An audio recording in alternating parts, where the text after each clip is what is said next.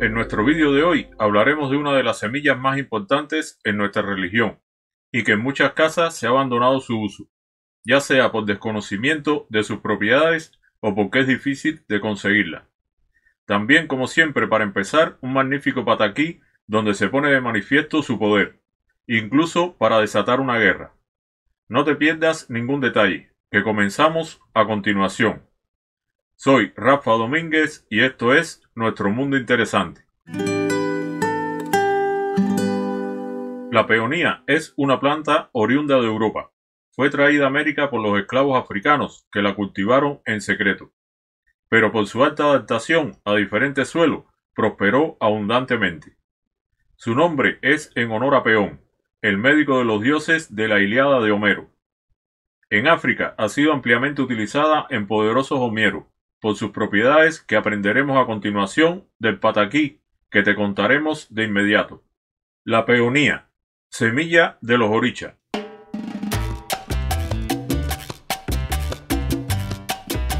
Cuenta esta historia que las semillas de la peonía se sentían muy orgullosas de ser utilizadas por los orichas en la realización de sus rituales. Su poder era tal que mencionar su nombre era sinónimo de respeto. Una mañana, Changó se encontraba cerca de una planta de peonía cuando escuchó una voz que decía así. Mi color negro es el que hace ser la preferida de los orichas. Por lo tanto, yo sobresaldré siempre respecto a ti. Con estas palabras, la parte negra de la peonía trataba de sacar ventaja sobre su hermana la roja. Así se desató una gran disputa entre ambas. La semilla roja se defendía diciendo que su tono avivado y cálido la hacía sumamente efectiva para desentrañar los asuntos del corazón y los correspondientes a la guerra. En aquella querella estuvieron sumidas largo tiempo, hasta que la ira comenzó a desatarse y la disputa se tornó hacia otros rumbos más severos. Comenzaron a golpearse, volaban las ofensas y los reclamos. En eso, Changó, que estaba cerca, intervino oportunamente, puesto que entre ellas no hallaban un consenso sobre a quién adjudicar el objetivo de su buena suerte.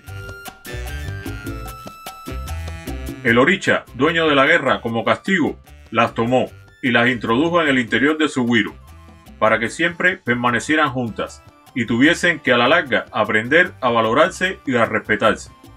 Pues el secreto que las hacía poderosas era precisamente la unión en una misma semilla de ambos colores.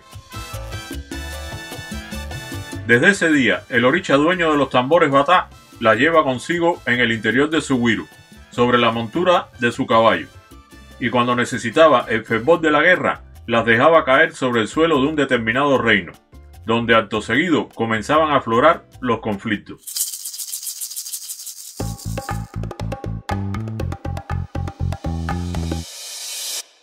La peonía se desarrolla como un arbusto que crece salvaje, conocido también su fruto con el nombre de uairuro. Las hojas que abrigan a la peonía se subdividen en fruto.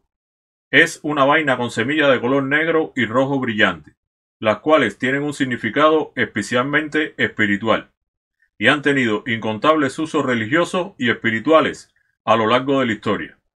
Por ejemplo, atraen la buena fortuna y se representan como poderosos amuletos. Semilla de la suerte que brinda protección y aleja el mal. Es ornamental y decorativa por su belleza y la carga de positividad que derrama en las estancias donde se coloque, siempre con el cuidado que no se nos caigan al suelo. Actúa contra el mal de ojo, la envidia y la hipocresía. Su fuerte color rojo, en unión del negro, le convierte en un azabache de gran poder, principalmente para proteger a los niños y recién nacidos, en los cuales se le colocan las manos dentro de bolsita como protección contra el mal de ojo.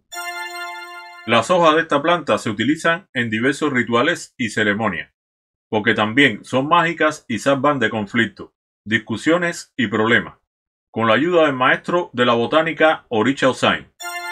Se crean collares de protección muy efectivos que salvan de enemigos y enfermedades, ya que los colores rojo y negro equilibran las energías de la vida y la muerte.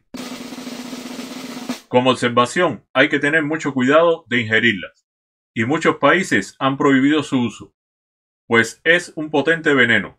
Mucho cuidado con los pequeños cuando encuentren esta atractiva semilla.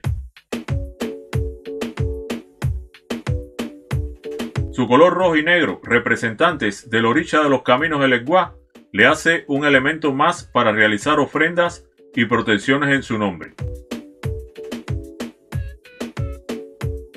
Originalmente se dedicaba a Changó, al cual se le consagraba una maraca mágica con esta semilla, que solo se hace sonar cuando se está preparando o sufriendo un conflicto con algún enemigo.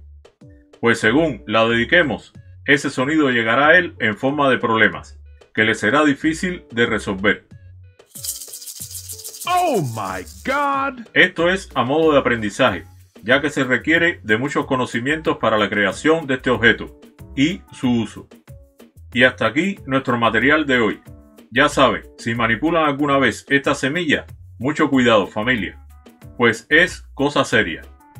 Recuerda suscribirte y compartir nuestro material para seguir creando vídeos interesantes. Muchas bendiciones para todos y mucho H.